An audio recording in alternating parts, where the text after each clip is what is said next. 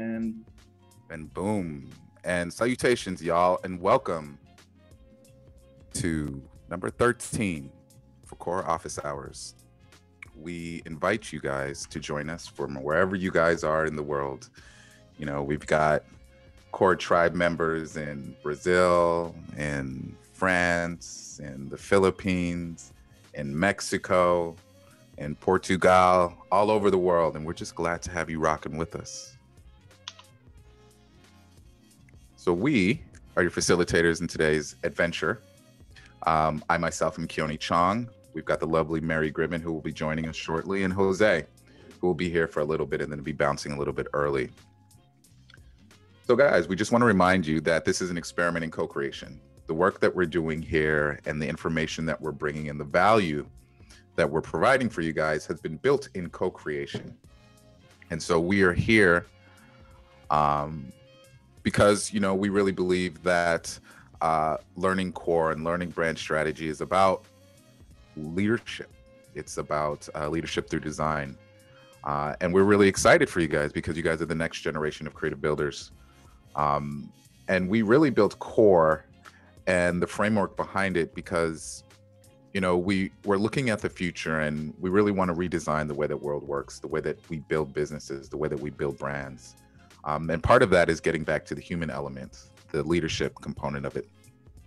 So uh, today's episode is brought to you of course by brand discovery foundations. And if you're interested uh, and this is the first time that you guys are checking out core uh, we definitely uh, encourage you guys. Check us out at coreismagic.com so as always we invite you to like and subscribe so we can continue to bring you this awesome valuable uh, content and community and relationships and understanding of the world uh, and how we can build better brands and companies in the future so we've got this slide in here, Jose, for the Systm Podcast. Oh, yes. So the Systm Podcast is going to be uh, going live on Friday on YouTube, Spotify, Google, etc. Um, and uh, I wanted uh, to share the link privately here with the explicit request uh, for those of you in the community who attended today.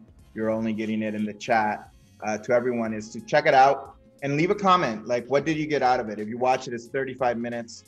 Um, it's the everyone case study. Uh, what did you get out of the of the conversation? Amy, who uh, was one of the key designers on that project, is here today. She's on the podcast. Check it out, or on Instagram. Also, there's a preview, but only here you're getting uh, the link. Uh, I just posted it in the chat. Uh, watch it afterwards. That's it. Yeah, really excited to get your guys' thoughts on it. Um, we worked really hard on it. It's a really exciting story to tell, um, and it's uh, it's you know it's our first like major step towards us building the system. So we do it for y'all. So let's dive into today's agenda. We're gonna start as always with a drop in, about 15 minutes, and how we like to open up this circle of connection. And so in the drop in, you talk a little bit about your name, where you're at, and then the question for today.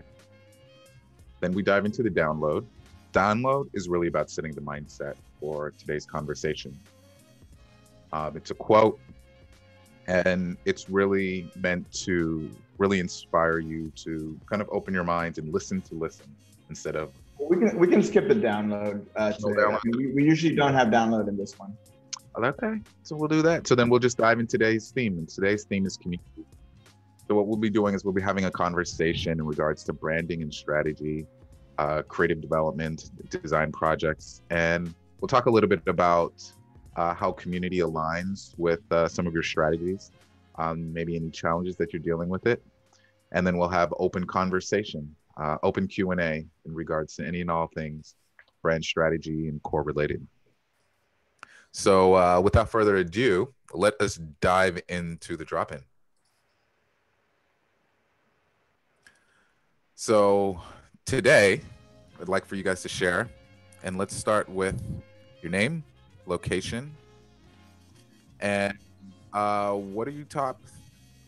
I just added the question live. What is your biggest core question uh, or core win So let's start there. And I'll model that for you guys. My name is Keone. I'm located in Los Angeles. And what is my biggest core question or core win? Um, hmm. I can't say I would like to say this with core win, but it's more like wins as a po- as opposed to like a singular win. Um, I, you know, over the last several years in my life, my network has really started uh, to open up, and I've really been able to connect with some really powerful creatives, designers, leaders, um, political influencers, and a huge component of that is because of Core. Uh, Core really helped me align myself and my skills and my value, um, but it also helped me align myself with my community. And so, a lot of the opportunities that I'm finding in life, a lot of the really creative um, opportunities that have been presented to myself, uh, have really come out of that alignment and understanding. And uh, Core was instrumental in building that alignment. So for me, it was more like a general win overall um, for myself and my community, for all of these individuals that we have here, you know, that are listening to this conversation. Um, so yeah, you know, that's my drop in. Uh, Jose, would you like to uh, model? No, I'll cede my uh, my seat to the honorable John uh, to Dexter. Awesome, Dexter, welcome to the stage. What's happening, everybody? Um, my name is Dexter. Currently in Alabama, Tuscaloosa, to be specific. Mm-hmm. Um, my biggest core win. Um, I would say I had did core for someone and you know the kind the way I kind of run core is I kind of you know centralize everything kind of around culture and like building culture. So um, I remember them hitting me up and saying you know they were onboarding you know no people they had added to the team and they were you know talking about all these cultural things that you know we had developed together and like the people stopping them in mid sentence like let me stop you right there like everything you're saying now is something I'm like I'm all about that. Like I'm very like I you know being excited about you know being a part of the team. You know based off something that we developed together. So that was kind of like a sign like yo this is like this is something that's impactful and creating connections and you know bringing people together as part you know part of teams that like to really work on something where they're making impact and something they really believe and connect with. So I was like, yo, that's fire. So that's like one of my wins with core. Mm. Awesome, man. I love that. Thank you so much for sharing. Yes, sir.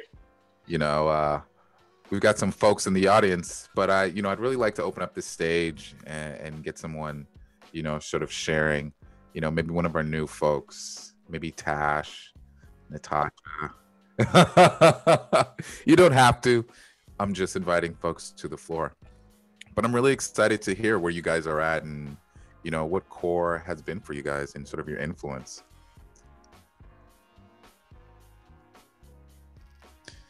So while I leave the floor open, you know, I'll read a few from the audience. From Jason Chan.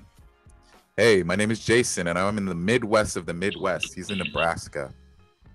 So for him, his biggest core question is how we can help our clients think about their brand traits. He's struggling to help his his client come up with words to describe their culture, users, and value proposition? Hmm. Good question. You know what? I'll take note of that, and we'll we'll open that up in uh, core Q and A. Thank you so much for being with us, brother. Um, we've got Arsenije from Belgrade, Serbia. His biggest core question is, "What is the future of branding in the age of decentralization?" Ooh, it's a really great one. Thank you for sharing that, man. Would anyone else like to come to the stage? It's open. Love to hear you and just check in with you guys. Yep, yep, yep, yep. Yo, yo. Hey, everybody. This is Cliff uh, coming in from Brooklyn, New York. Uh, I haven't quite been as consistent as I wanted to be because, uh, unfortunately, I've been kind of busy. Um, I recently gave a talk to some uh, students at Washington State University, which was very cool. and I'll be sharing that with everybody soon because we recorded the conversation. But um, a win for me that uh, that I'd like to share is honestly similar to what Keone was saying. In Core provided a framework, and and being part of the community has helped me with with my purpose at this point in my career.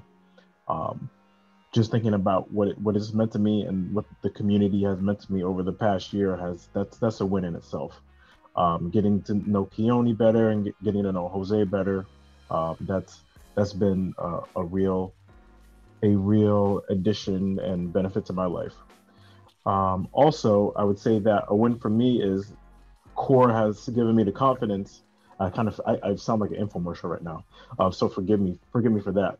But uh, Core has allowed me the ability to speak confidently on uh, CEO pitch calls with the advertising agency agency that I worked with within the past few months. So um, I could definitely feel the confidence being part of that um, part of that pitch call, and that's been something that's really added value to my life.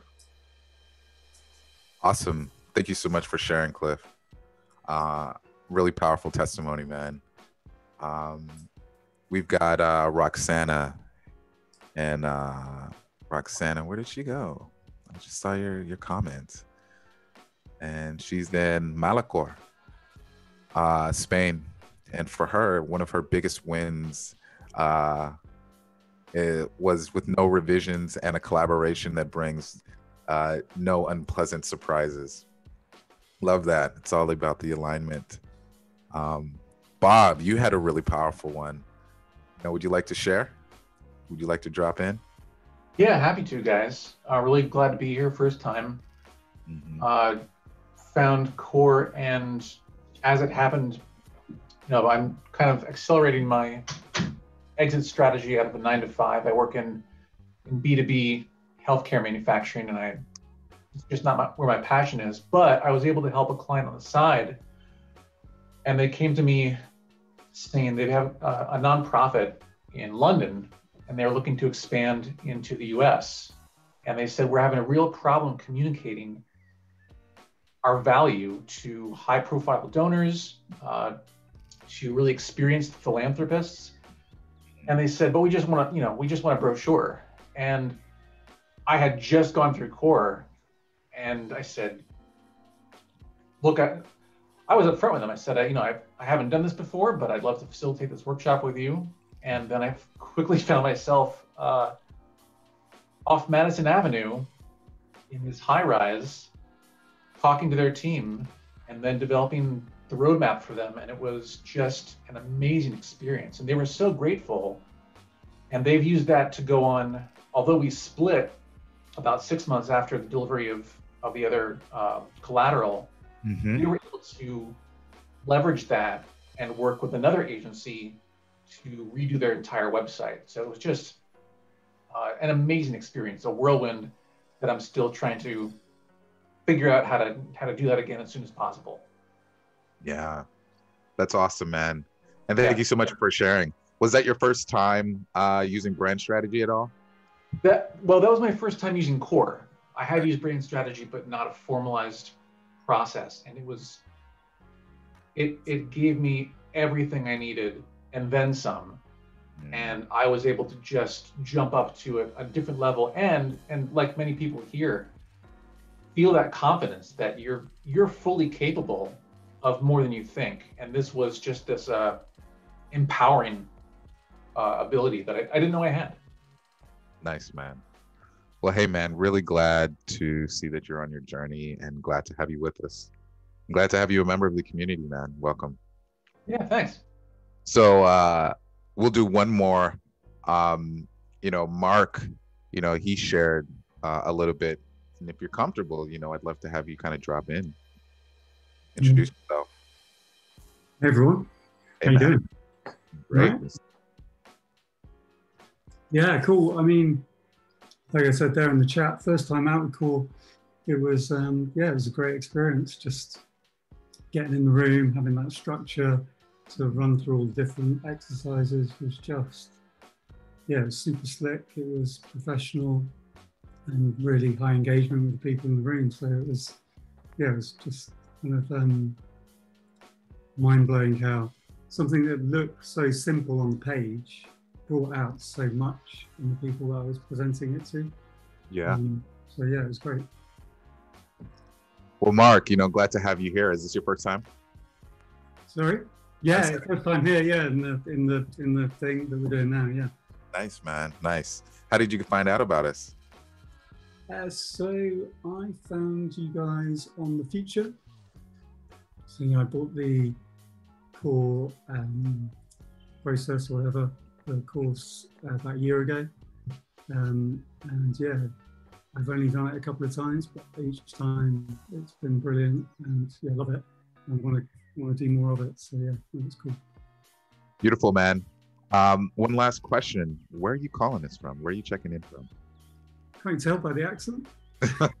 Across the pond, perhaps. Yeah, Bristol, England. Welcome, man. Glad to have you join us. Yeah, good to.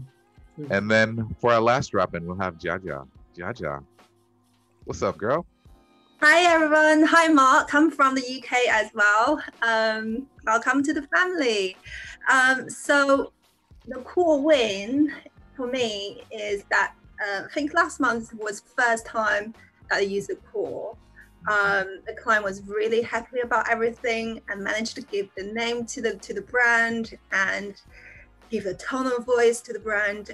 And today my current client just introduced me to another client because of the outcome of the core.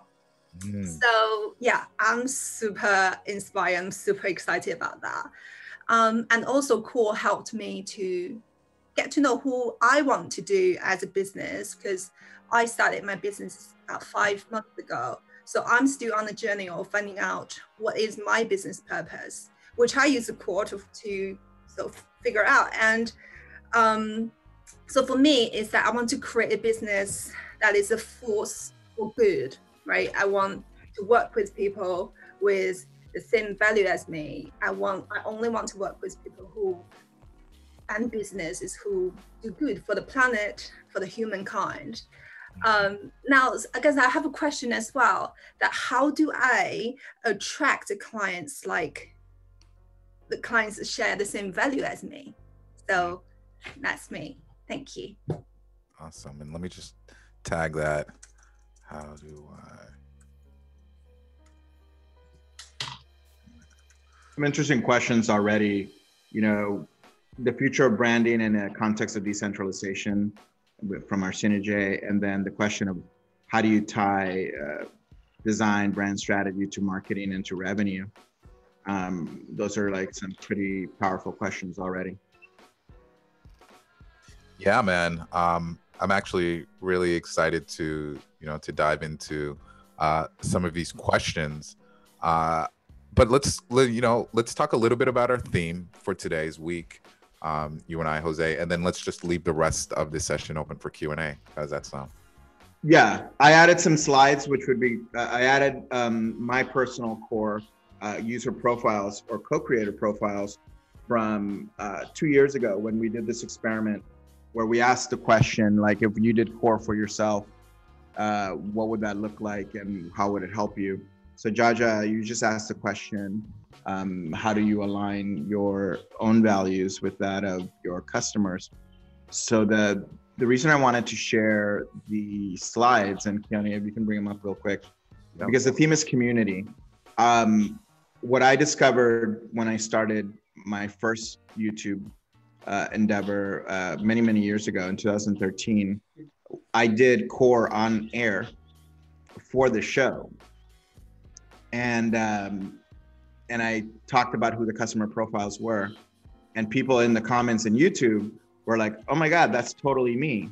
Um, so the community self-identified by by doing the customer profiles in front of the community itself because it was a live show.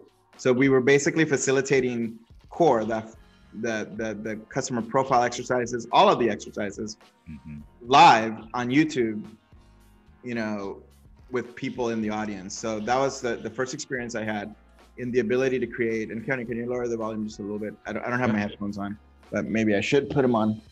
Um, the the results of that was traction because people were like, yes, that's me. And then I kept on repeating it in the different um, uh, things that I was doing, whether it was, you know, doing a workshop, whether it was uh, whatever it was, speaking at a conference. So if you go to the profiles, one thing that you're going to notice, because we've just finished doing the hero's journey on our design therapy, is that the arc, the narrative arc that we added, that I added to the current core, and a lot of people ask with confusion, why is it structured this way? Like the past you, foundational you, you now, then you in transition, and you at the end, right? I was using the hero's journey as a, mm. as a model for you to be able to get customers who are new, right? Who just found out about you. So it might be you in the past, customers who now know you a little bit, and then customers that are now successful because of you. So, so if you look at the transformational leader, create a YouTube channel, transformational conference, global workshops and events, that's Mauro, that's Cliff. I mean, neither Mauro or Cliff are a peppy blonde person, but uh, or a woman, but that is them, right? Uh, James de Mendoza, again, these are composites of real people.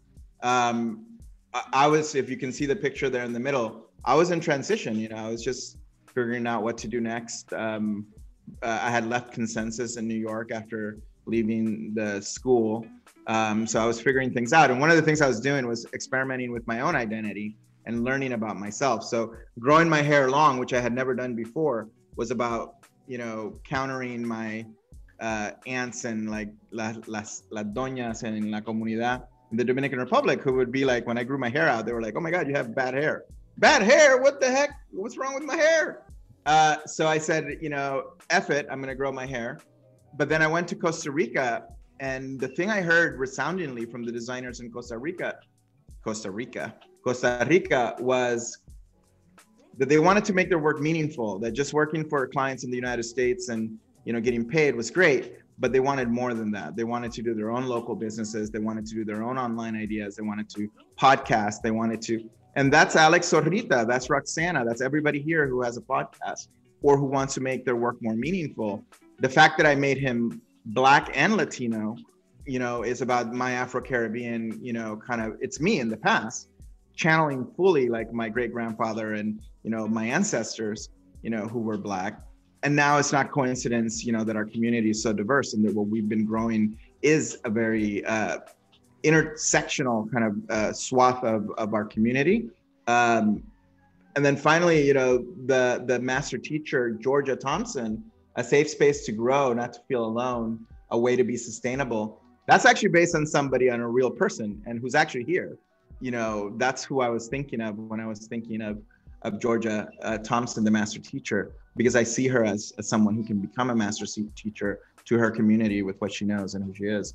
Uh, and then, you know, the Clara Chang, half white, half Asian um, leadership was the thing that she was literally working to do. To do again, that's based on a real person, but nonetheless, it's it's all um, the the the seed the seed of the manifestation of what you want to build so if you have a question of like your customers, Jaja, spend time creating your customer profiles, your co-creator profiles, but more importantly, talk with them and and then really get to know them um, and then validate it with them. Is this you? That's why we don't use real names, right? Because you don't want to show up with the real name and say, "Hey, this is based on you." That would be really awkward. The final thing I'll say, and I, and I will stop, is you know the question of marketing and revenue. If you look at marketing programs, ultimately, they're trying to find like a, a campaign pillars, messages that are really tied to the value proposition. And remember that the the brand statement gives you, you know, uh, impact and and and the emotional aspects, but also gives you impact. You can create based on the needs of the customers, you know, the value proposition. Core helps make your work meaningful. This the system is a safe space to grow. You know, we are here to heal in community. We're here to learn leadership Yes, all on YouTube because this is where this is being rebroadcast. All I did was just read the needs from each of these user profiles or these uh, customer segments. And if it resonates with you, you know, then it's because you are and we are, right? So so marketing is scaling that.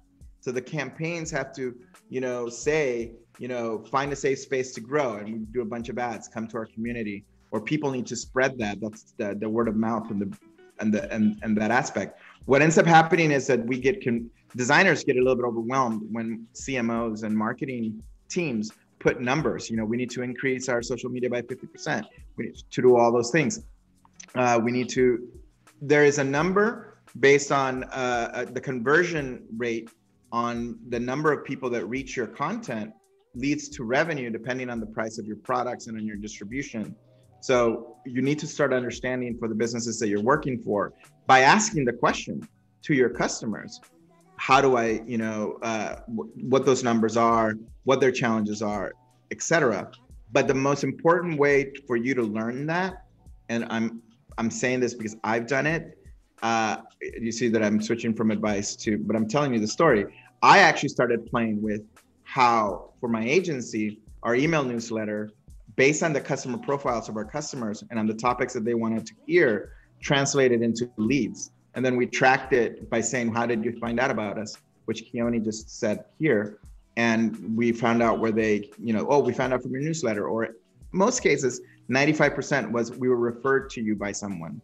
So if the agency model is really referral if you know how your content impacts leads if you understand how your messaging and your narrow you know kind of like focus on a value proposition to a potential to a customer type works because you did it for yourself.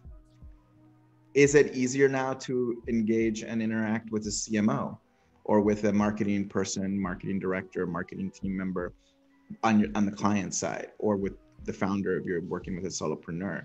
It is. So doing it for yourself and making those experiments work does like wonders for it. So that's that. That's my we're building community using core. You're here because you were manifested as a co-creator profile.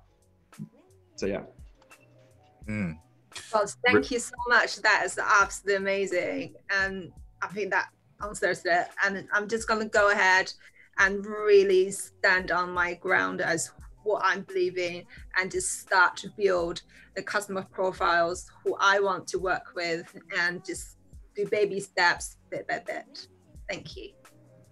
That's the path. You know, like um, you know, what was really interesting to me when I first came to core, you know, Jose was like, Oh, you've been doing core your entire life, man. Like you you've already been doing it. And I remember the first time you told me that I was like, uh, I don't think so. Um, but you know for me from a personal experience you know here's my relationship to to core. Um and michael we'll we'll bring you on board as soon as i just add this little anecdote. You know like growing up i grew up so i i come from you know i'm first generation. My parents are caribbean. My father ethnically is cantonese and my mother um, is probably like a little bit of uh, indigenous taino and, and jamaican. And so growing up in america i struggled with the ability to connect like with kids my peers the whole nine because culturally i had such different values. And in the household that i was raised i wasn't allowed to really access media. So television we only really watched like on sundays which would be like Oprah and, and 60 minutes. And maybe my dad throughout the week would sneak in maybe some in living color and like star trek right? That was my life so I wasn't listening to radio. Like I was just reading a bunch of sci-fi and comic books were really my intro into any kind of experience that I shared with my peers. Now, because I couldn't build relationships with them because I didn't have different values or even the language to communicate, what I started doing as a kid was I would look at the groups of individuals and I'd be like, ah, they all wear this shoe, or they're all wearing these kinds of brands. They're all listening to this kind of music here are the activities that all of them are doing. And I didn't realize it at the time, but I was building these profiles around the communities. And based on what people do and the behavior patterns that they do socially, you can get a really strong feel for who they are. And then when you understand who someone else and you have deep understanding for yourself, you can then make that bridge authentically. You can step into those conversations and you can have real like value add to them because you you're coming from the same values your curiosities are the same the knowledge and the topics that you guys are are curious about are the same and so those kind of relationships just happen organically and naturally So that was the way that I interpreted this. Um, and I hope that it helps you guys understand the importance of really being able to identify who you want to co create with, right? What are the kinds of brands that you want to work with? What kind of creatives do you want to work with, right? What kind of leaders inspire you that you would love to work alongside, right? When you can identify those things and sort of shift your energies, then you're stacking the deck in for success. And that's what we really want to help you guys do is find success. Hey, so, yeah, what's up, brother? Is it okay if I add just something real quick to what you just said? Sure can.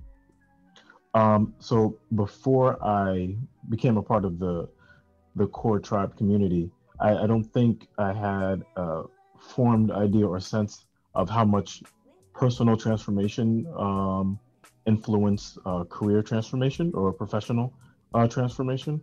Mm-hmm. Um, I was kind of like I had a roundabout idea about it, but um, I think for the longest time maybe I didn't realize that because um, internally, internally not progressing or opening myself up to certain experiences was closing myself down uh, professionally to getting to uh, a, a, better place or to a different place. So I think that was uh, something I wanted to share that the community has given me too, and how my story kind of relates to yours in a certain sense. Um, like starting to bring down walls in a way that opens me up to hearing other people. I've, like I've had people in my life, you and this the woman I used to work with at Hot 97, where they helped me a lot. They allowed me space to be able to bring down certain walls to open myself up to new uh, possibilities. Mm. You nailed it, brother. I couldn't have said it better myself. Uh, Michael, I know that you had your hand raised. Would you like to come up to the stage and share? Well, I actually um, did that by accident. So uh, sorry about that. well, hey, man, glad to have you here, man. Either way. Thanks. Yeah. So, uh, do we have any other questions, you know, or comments related to this topic of community? You know, um, we really just want to, you know, give you guys a little bit of the principles. Uh, community is a huge component of core as a framework. Um, you know what we're really trying what core really presents uh, in in a really unique way is this is this framework for understanding and uh, starting to build relationships between individuals. Um, it's very much human skills as much as it is branding and marketing and designing skills right? Um, it, it, it's very much a, a, an exercise in uh, being able to align vision uh, to understand values, um, and then to collaboratively co- collaboratively build together towards a shared vision. So, um, so yeah. With that said, uh, let's dive into the core Q and A, and let's talk a little bit about some of the questions and concerns that we've had. And um, you know, for those of you guys that have questions, the chat is open. Um, I'm going to try to capture everything that I can, all the questions that are submitted. Um, then I've got a list of some existing questions, so I'll dive into some of those as well.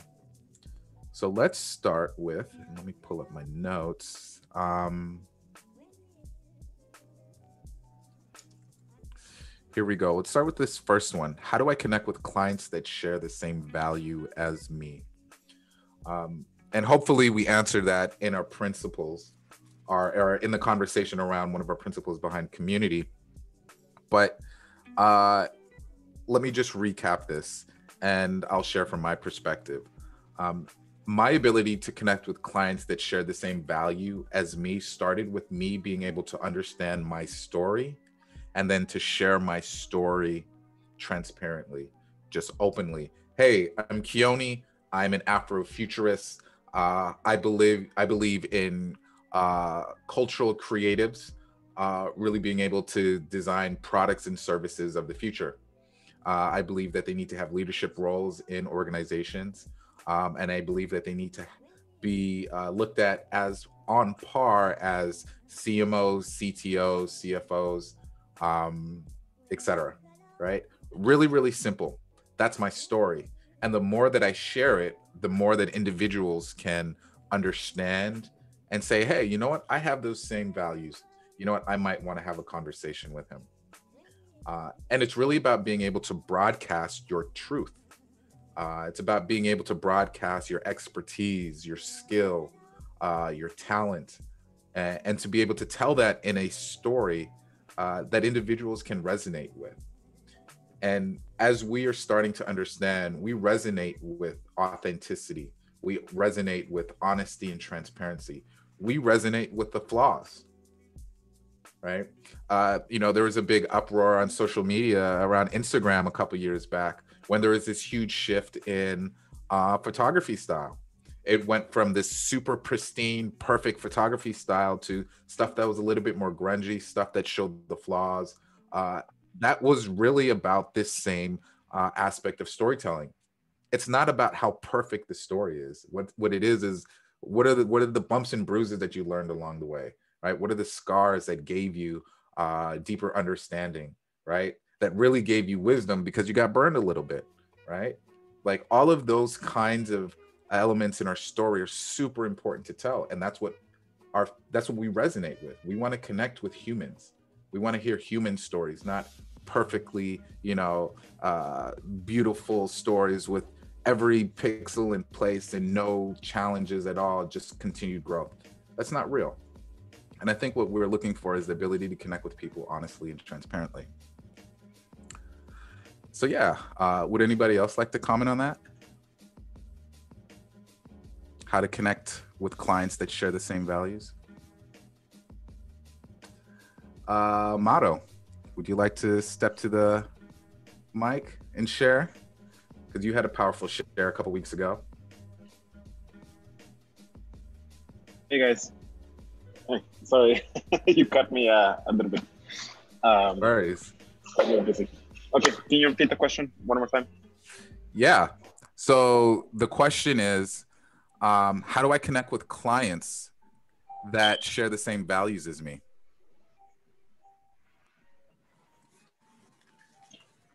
In okay, uh, I think it really depends on the on the on the context of where you want to connect, and um, I think, as a matter of fact, um, I'm I'm doing that right now with another brand here, and it's another uh, with a brewery.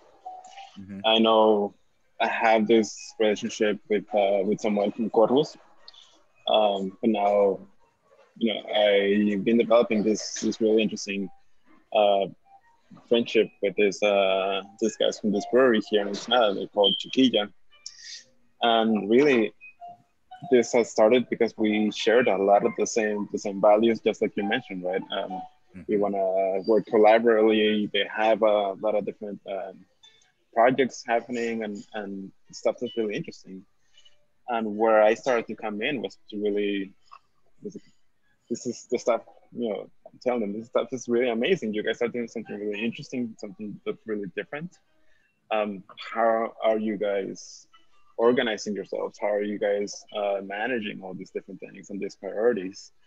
Uh, and you know, we have been developing this this really interesting dynamic where I'm helping them really identify the problems that they have, uh, some of the, the downfalls, and I've been able to, okay, like kind of settle settle the dust uh, in, in a way, and to really okay, let's how about we refocus on what you guys are working on and let me help you uh, through my experiences that I've had with all these other clients, other other projects, mm-hmm. and and give you a different perspective. And that comes with a lot of respect of them understanding what I've done, how I work, uh, the way that I that I carry myself, the, that I, the way that I speak. And you know, I think it's that's really that's really telling when you find somebody who you can have that relationship, you really understand and you really connect with. Um, you know, I think I, I always approach from the perspective of like really trying to help from a very selfless uh, place. Mm-hmm. Whereas like I'm not charging them, I'm not, you know, being bold. If you pay me, you know, I'll, I'll help you out. It's like I, I really want to be able to to give something and to like here, let me let me take you by the hand and then we can we can talk about you know work and compensation some other time let me show you what i can do for you uh, how how I can help you. And if you guys you know don't want to collaborate later, that's totally fine. I'm I feel good about giving giving this and being able to continue. Uh, you know something that's very sort of casual in a way. Mm. I love that share, man. And thank you so much for sharing that. Um, I hope that you know the folks in our audience can can take a little bit away from that. You know, I'd I'd like to add some insight into that and kind of expand that a little bit. I think that when we are able to speak our truth, to be able to live in our values with authenticity and transparency. Hey, I'm this way because of.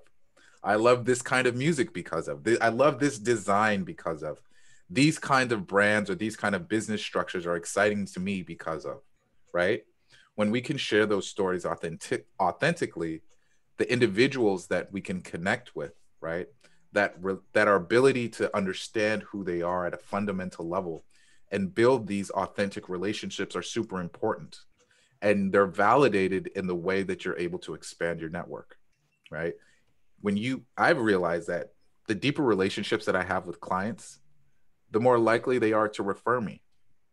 And it got to a point where for maybe 70% of our revenue, you know, and for full transparency, Model used to be a business partner of mine. We were partners together. We was going through, you know, fighting, you know, fighting the clients, you know, with all of our brand ideas. Ah, no, the logo doesn't need to be bigger, right? I'm like, fighting you, Keone. and me, yeah, right uh, you know, because there's there's there's conflict even within the partnerships, even within the relationships, the leaderships, the processes. All of these things are super important. You know, Mar and I, oh, we went. Oh, worries, man. Uh, you know, we went through the the the dissolution and then the the coming back together, right? Like, and that was like the validation of our values, right? The network that we expanded, the clients that we have, um, and I think that we all, all of us, you know, who have experienced some sort of referral can look at that referral and be like, why did they refer me? Right. The work that you did for them is really just the validation of who you are. But there's a personal level, there's a personal undercurrent that is super important.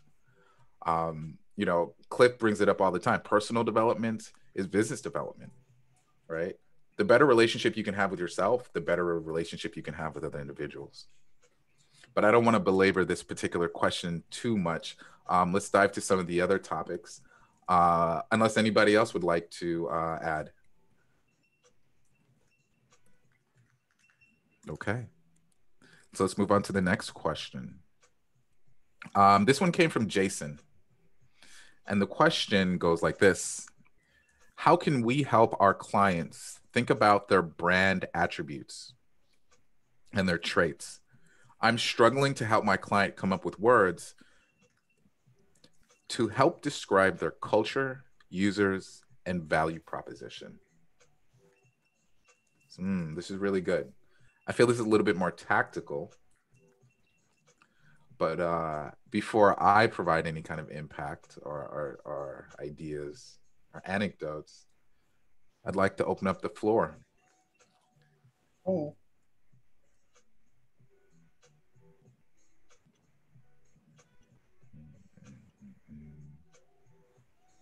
Again, the question is I'm struggling to help my client come up with words to describe their culture, users, and value proposition.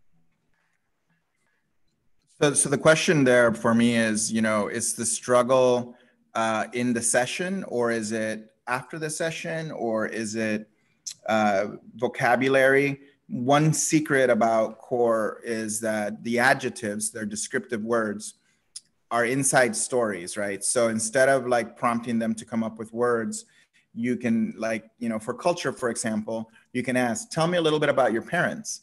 Tell me a little bit about when you grew up. And people will say, you know, well, I, I would say, uh, I'm the son of a pastor. My mom was a biologist and a teacher at university.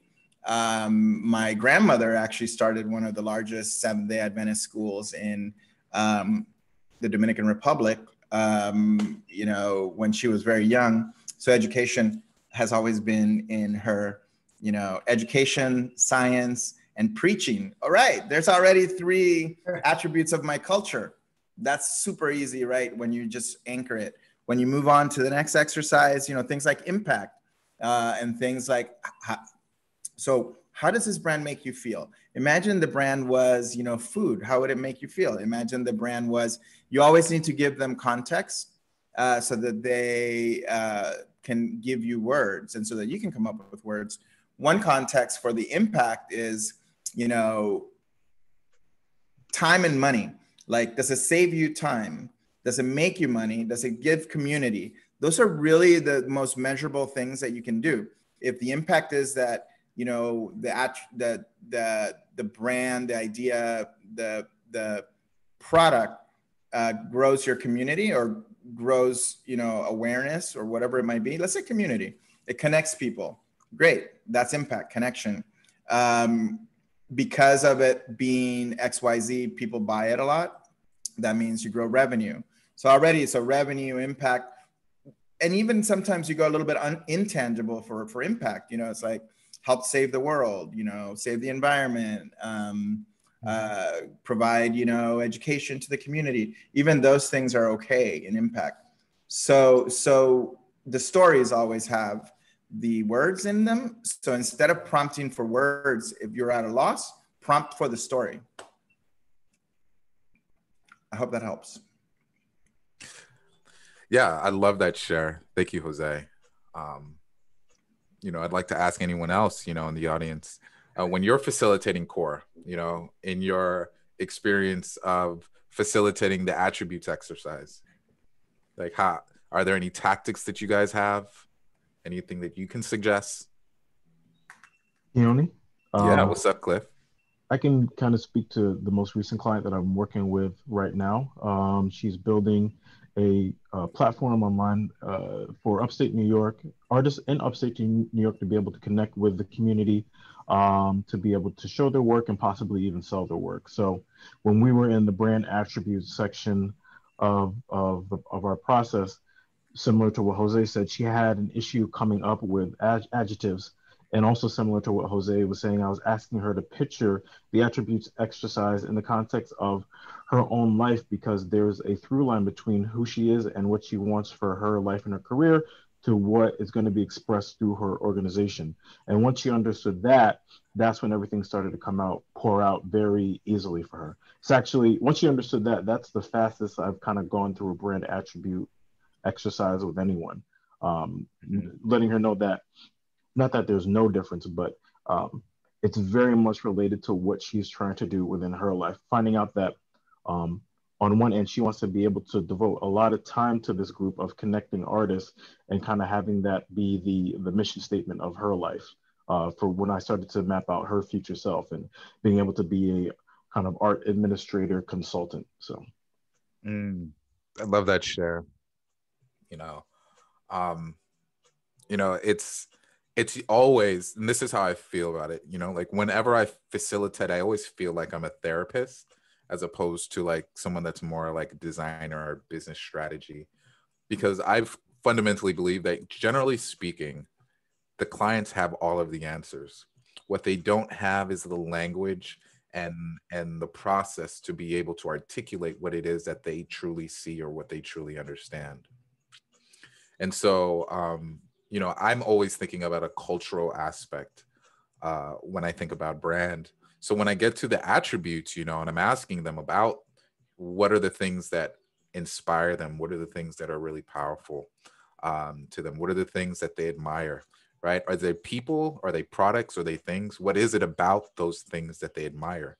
What is it about these people that really resonate with them? Is it a characteristic? Tell me more about that characteristic right? So i like to look at it from a very high approach which is cultural expression. So our typical cultural expressions are language um, it's food it's um, it's fashion and how we design ourselves it's uh, media so it's music um, and video uh, and then it's like behaviors right? It's like we tango or you know we do shabbat on fridays right there's some sort of cultural behavior and generally what i'll do is i'll be like well what are the things that you like to do and we'll start there and i look at that as a cultural reference and i said well what is it about that that makes it so important to you right? Sunday dinners with your family, right? What is it about Sunday dinners? Is it family? Is it community? Ah, right. So here are some of the values you have. You you value deep relationships. You value community. You value being able to look at somebody in the eye and have an like an honest, authentic conversation with them and connect at that level. You value deep relationships, right? Like that's how I break down the insights. And this is for me.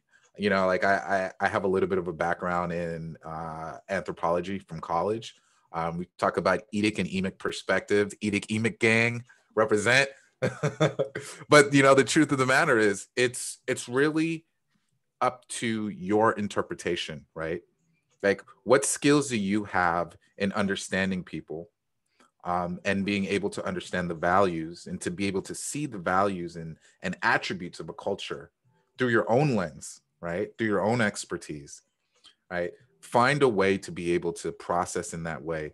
And that, and it doesn't, it takes time, you know, for some people, they may be able to just knock it out of the box, but for other people, it takes time. So understand that it's a process. It's not about becoming perfect. It's just about getting better for the next facilitation. Right. And lastly, but definitely not least, if you have a little bit of a feel for the client and you know that this is maybe part of your facilitation skill set that you're weak in, do a little pre prep. You know, sit down, look at the brand, run through the exercise for yourself. Right. Come up with values or, or attributes or elements that you think are important and like use them as conversation starters. So when you dive in, give your client the space to give you feedback and say, what about this? Have you thought about this or have you thought about that? Use those as prompts to help spark the conversation. The deeper the conversation, the better the output. So, how was that for you, Jason? That provide clarity? Yes, definitely. Uh, I guess I was just struggling because they were coming out with very dry words. mm-hmm. And they just uh, wouldn't budge even with how I described them. And I was firstly going to go down the route of asking, like, what's the North Star of a company that you really aspire to be, like Apple or something like that? How would you describe them? Right? What do you like about them? What is it that about them that inspires you? And then I was going to use those as prompts, but um, I definitely love what you guys were talking about. So I, I took a lot of notes. Thanks. Yeah you know and also another thing that i do and this will be you know this be my last you know pro tip is i don't force them to have to put it necessarily in a word. You know if they can capture like the essence of what it is that they're trying to say or mean but it's like a phrase just write the phrase right? Think about it later. Like when you go through and when you reprocess like generally i'll like to facilitate and then what i like to do is a couple hours afterwards after it's it's sunk in a little bit i just do a review and I just walk through through you know the the the core facilitation.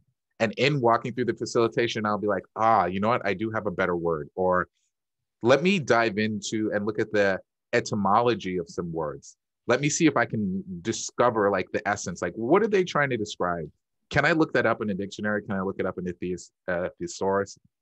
Right? Like, it doesn't have to be executed at that time. Give it time to process do some research additional prior and post, and I think you'll be all right. So, yeah, man, thank you. Great question. Um, so let's do another question, and here we go. This is this is about customer profiles. So the question goes like this: When building out our customer profiles, how do you adapt for a B2B business? I'm finding that the background into I'm finding that the background can be a bit tougher to gather from clients.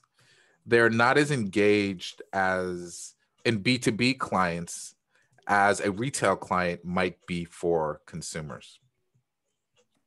It's a great question. Um, and I'd like to open it up to the floor, right? Uh, have any of you guys had experiencing facilitating B2B um, business personas?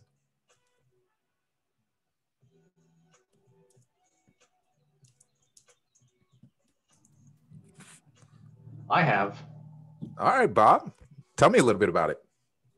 I wouldn't say within the core, but I think seven years working in in B2B in healthcare, mm-hmm. uh, I actually started using a a different format, the the story brand framework. I don't know if anyone here is familiar with that. I am, yeah. Right. And it was interesting because the more we talked about a distribution partner or uh, independent distributor network, we were getting down to story brand concepts that really align with core and customer profiles as well. We're talking about uh, their pain points. And we started to understand that, at least I, I thought it was a revelation. I don't know, people here might think this is just foundational 101, but for me, it was, it was really amazing to know that you're still dealing with people and that people don't buy solutions to external problems. They're buying solutions to their internal problems, how they feel. And no matter at what level, if you're a CEO or a, a purchaser, you've got some kind of pain point, you've got some kind of stress. And half the time when we when we worked on developing messaging for B2B, uh, I, I, actually just finished a um, working on, on copy and messaging for a, a targeted market segment.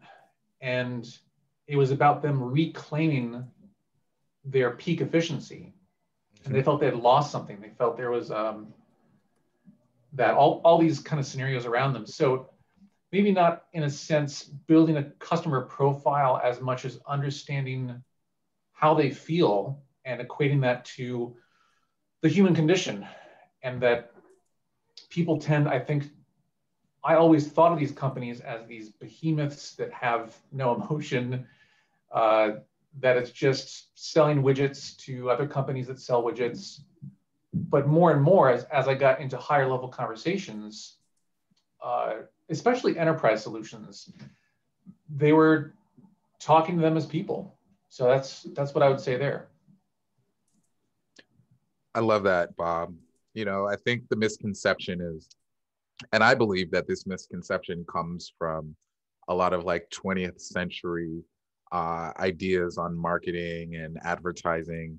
Um, and that is that people buy these seductive products because of these crazy features and it's all about the svelte design and features and benefits it, it's it's features and benefits is the way that we negotiate that conversation but what makes us buy a product you know or buy a service is the human story behind it right?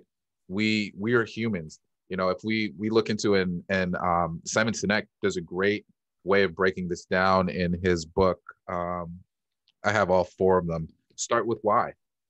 You know, he talks about the ways that our brains are biologically, are, are the way that our brains biologically evolved. So from a from like an evolutionary psychological perspective, we have our limbic brain, right, which is this core uh, this core element in our brain that sits right above our lizard brain. So our lizard brain is all of the things like our fight or flight responses, right? It's it's the instinctual natures and, and chemical reflexes that we have that allow for us to survive in crazy life or death situations. Ah, there's a lion. You know, lizard brain is run, right? And we run. Like we see something that looks human but probably isn't human and could be a trap. That's the uncanny valley that we see described. We see it more and more now about around CGI and robotics, these humanoid humanoid forms that look very, very similar to humans, but something is just a touch off. That's your limbic brain saying, ah, that's probably a trap. That could be this alien trying to eat you, bro. Don't go near that thing, right? Then we have our limbic brain. Our limbic brain is all of our emotional responses, right? And then above the limbic brain, we have our neocortex. Our neocortex is what allows for us to have the technical conversations. Here's the challenge our limbic brain processes just emotion. If there's no reason beyond this person makes me feel good. Something about this thing or this idea or this story brings warmth into my heart and comfort. These are feelings. Feelings are completely separate from what our neocortex function uh, uh, uh, processes which is the language which is the details which is the ideas right and where our memories are held closest to us that happens in the limbic part of our brain around emotions So it's why we hear a song and all of a sudden we get this flood of emotion, like, oh my God, I remember the first time I heard this, right? How many times we've been in class, girl, that's my song, right? Everyone drums it. They could be drunk out, right? But that spark of memory, that inspiration, like, oh, I remember where I was when I heard Usher. You don't have to call, girl. Let's get the dance floor, right? Like all of those things, it's because of our limbic brain. It's no different than the way that we build our brands and our products and our services. You know, the way that we connect, right, is on the emotional level first. It's why story is so important. Story gives you the why you should have this emotional resonance with an individual. Without that story, you're just a list of features and benefits. There's no emotion in that, right? People will say, hey, yeah, well, I bought it just because I needed it. Yes, convenience is absolutely a thing, but convenience doesn't build relationship. So the, whatever that thing is that you bought just built on that fact of convenience will never ever be able to be something that can develop into a relationship unless there is a story and emotion behind it. Mm. Right? When I look at some of the work that Maro is doing, and if this is your first time, Bob, you should probably, I think it's maybe episode 10 or 9 Maro presented some of the work that he's doing, and it's an incredible story. But what is really powerful about it is you can see the way that he's weaved emotion into this brand identity, right? That was what was really important. And and I'm like, I'm sitting there because Maro, you know, as a business partner, he was in design and I'm watching him level up into adding strategy as part of his work. And I'm like, oh my God, look at this story that you're telling. Right. So I don't want to belabor that point anymore, but I definitely do want to open up the floor and you know to to replay that that question is is um, when building customer profiles, how do you adapt for B2B, B2B business? Finding that the background can be tougher to gather with clients. They're not as engaged as a retail client might be for consumers, right? So for me to put it on a point, it is you connect. How do you tell the human side of that story? How do you understand the story behind the customer, right? What what are the elements behind the motivations, right? why is he why is he a potential client for this other business for you? Not because of what his work is but because of what he's driven to do to build right? What are his like deep motivations behind who he is and the kind of work that he's doing? Tell a story behind that. Learn to tell a story behind that. Find the details behind that and then maybe we can find something really truly human to share so uh we've got a couple other questions. Uh, and this one is What is the difference between a brand statement and core and a positioning statement? So, um, Mary, welcome. Um, I was just going to type, I, would add to the last question. Mm-hmm. Um, that like road mapping to to needs is a really great way to to um, dig in deeper to the customer, you know, and so mm. know them like what are they, what are their pain points, what are their needs, and then hi Dexter, and um, and then map it to some sort of time timeline, you know. Yeah. Yeah. I love that, Mary. Thank you so much for that. Yeah. Um, the next so question. The next question is the difference between a brand statement and core and a positioning statement. Um, so I'll echo what Jose had uh, mentioned earlier. Mm-hmm. He looks at it as an internal, uh, an internal statement. In the way that I have used it, I've used it as a positioning statement, like a cultural positioning statement. So it's not external, it's not your mission, it's not your vision, but what it does is it gives you anchors into the culture and the kind of brand that you want to build um, and represent. Mary yeah, uh, cultural alignment tool, you know, like what are we here for? What are we doing? What's different between be, who are our customers? What's different between us and the rest of the competitors out there? Mm-hmm. Yeah. Yeah. And then yeah. from there, you can start to create like vision, mission, position.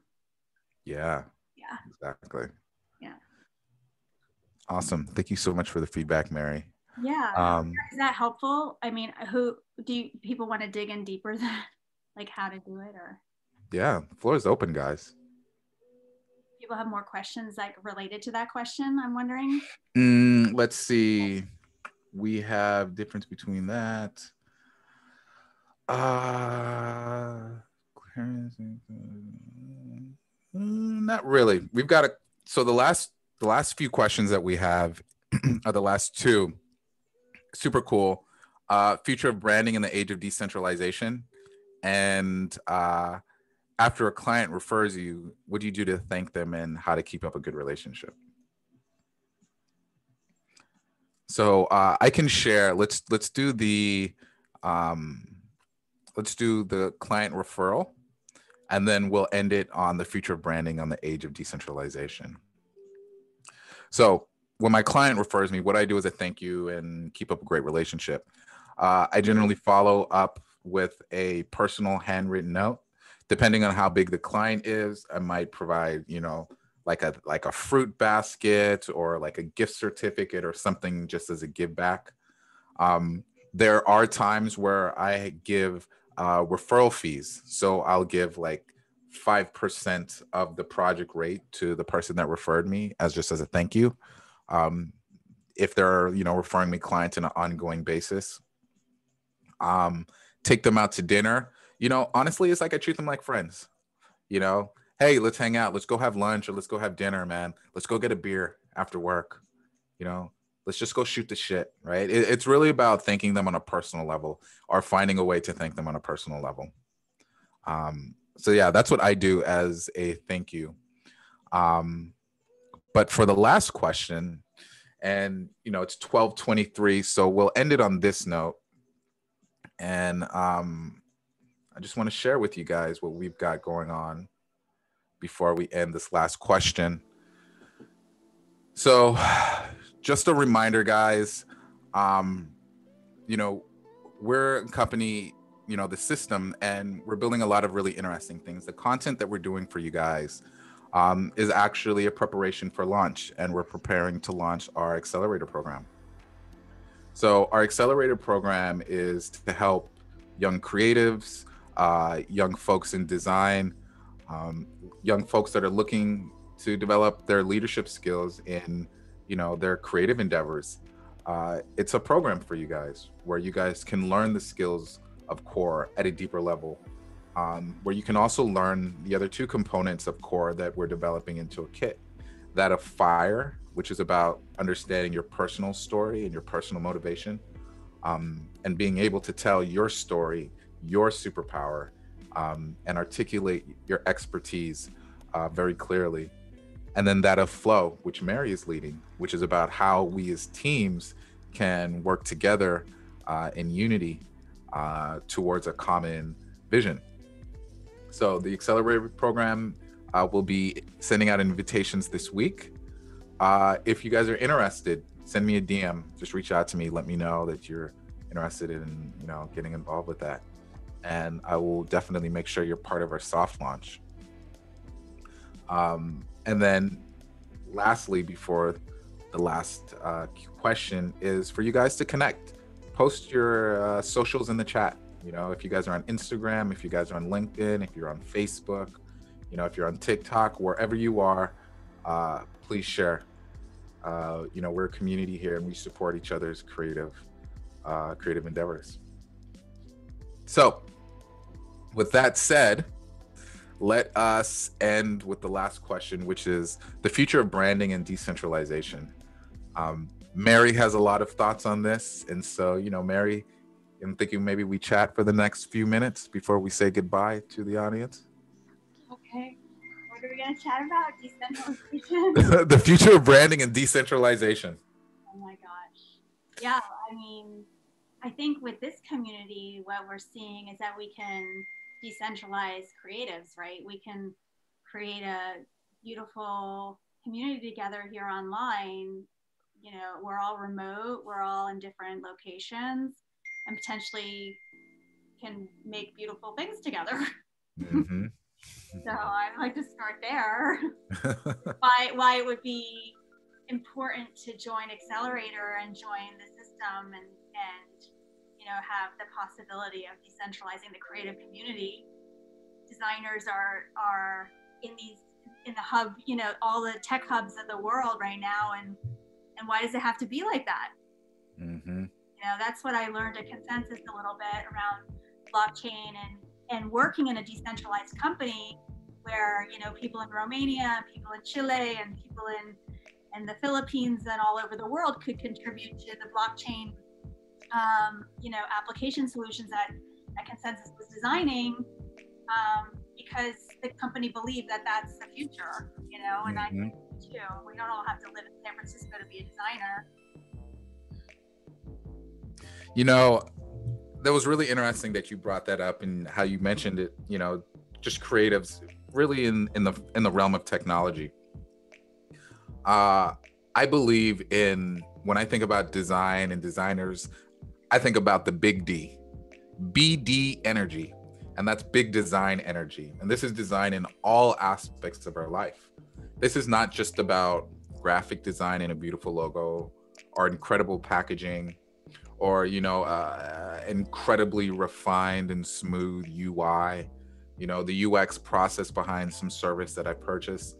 It's more than that it's also the architects that are designing our buildings. It's about the policy that's being designed and the laws that that govern us and how we're able to live our lives. It's the uh, it's the financial tools that are accessible to us, right? And how we can you know retain and transact you know our economic value. It's about all of those things, and I really think that the future is going to be like in the next hundred years uh, is really going to be impacted tremendously by the creatives that exist that are living right now. I think each of you are in a really unique space because I think that we're entering into this really powerful creative resin, uh, renaissance, right? Like this is this is the new creative, and the new creative is not just a designer, but they're cultural influencers. They're driving community they're driving knowledge and understanding right they're driving so much of the things that typically were reserved for institutions right i think that agencies are going to become less important and then it's going to be more important to have very specific cultural niches if i'm a logo designer i'm a logo designer for millennial transgender rollerblade dancers, right? Like it's these super niche communities that you can really dive into really unique aspects of your personality and expression. And that you guys are going to find profound ways to drive and influence your communities. And I think that is going to be the future of creative. I think that's going to be leveraged by all of this incredible technological uh, opportunity now. With when we look at finance and learning, learning right? Oh, absolutely, right? that's going to be the foundation behind the communities i think is going to be education.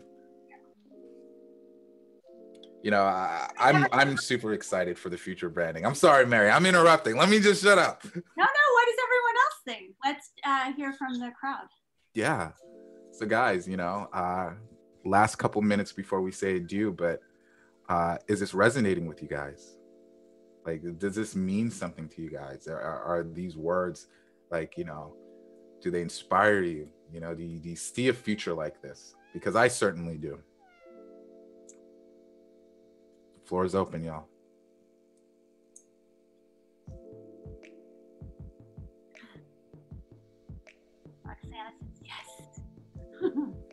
I think um, if I can speak that, I'm. It's kind of I'm experiencing it right now through our community that I am in Manila Mm-hmm. But there's no limit to how you can co create and collaborate with someone who's aligned with your values, what you believe in, and what type of project you want to work with. And so. I believe that that's the treasure behind all of this is this wonderful community. And i'm i'm really happy to see that a lot of new attendees uh, especially bob when he shared something about b2b i really learned a lot. And i think the magic also is in the stories of experience. So thank you for sharing that. Mm-hmm. yeah bob really glad to have you here man. Glad to be here guys Good first time. Yeah. Welcome. Dexter. Um, yeah, I definitely feel like the concept of like community is definitely going to be you become more common, you know, because I feel like, you know, more as humans, we're getting into a space where, you know, we're craving a deeper connection than just, you know, this is just my coworker or someone I just see these days out the week, but having like a genuine connection and knowing people on a deeper level. And that comes from like, you know, being a part of community where you're creating a space for people to be, you know, open and be vulnerable and, you know, willing to share their losses and share all of those experiences together that people are able to, you know, grow and evolve from as a collective.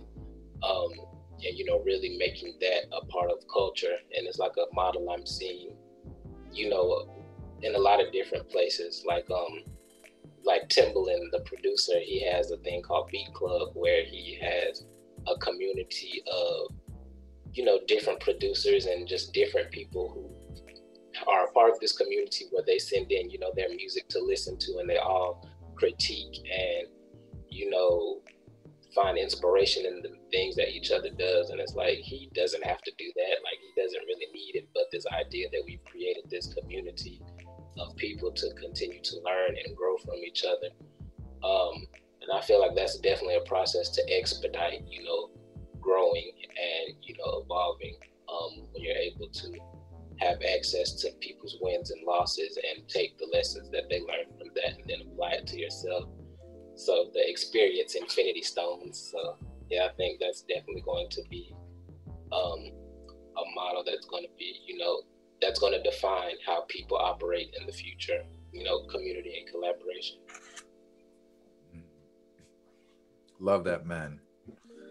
Thank yeah, you so much for sharing. Once you leave design school, like when does the critique happen anymore? You know, mm. it's your client or something. That's that's not you want the critique from. Seriously. right? I mean. All so right. Let's make that part of Accelerator. Done. All right. We're gonna have a we're gonna have a critique circle. I love it. Yeah. So guys, it's 12:33. We're a little bit over. Okay. But today was a really powerful conversation. I'm really glad to connect with you guys. Um, let's do the outros, you know one thing that you got from today's conversation. Uh, you can hop on the mic or you can post it in the chat. Um, but yeah, let's do that.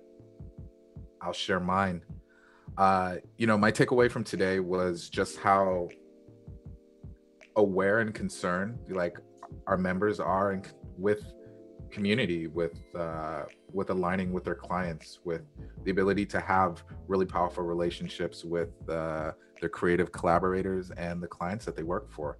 Um, it's a super important concern um, and one that really dictates a lot of the potential for success. And um, i'm really glad that we're focused on that because that's where you start. It starts with the relationship. So thank you guys for that. I'll read a couple from the audience. We've got Bobby. His big takeaway from today was BDE, big design energy. and that we are swarmed by light and positive energy. Well, yes, we are, man, when we have communities like this. Thank you, man. I'm very happy because um, when Bob Stevens was talking about the pastime experience, it's also I, I found me also very related with experience in marketing, finding distributors and using another methods. And now with core really is uh, much, very much clear and it's more easy to help companies to find the spirit, to find the reason why they, they are existing, to whom they are focusing, and the dialogue is more clear, transparent, and I'm very happy because also my business um, speed up and it's the same experience as yeah yeah. So I mean, people is calling, so people feel comfortable, and I love that you are creating the accelerator program to talk more personally to go more in deep on the projects uh, because I guess the final idea of all of us is increase revenues and and really to to be more creative in these new future changes that the world demands. Mm. Thank you. Thank you so much, Hania. For those of you that don't know, Hania is a scientist based in Germany, and uh, she has some incredible insights. Um, love to have you here, Hania, as always. Uh, from Adriana, the future is about community, the diversity of learning, and deep internal connections. Mm, really feel that. Thank you, Adriana. From that, takeaway you're not alone. We are not alone. Thank you so much for being here, Nat. Mm.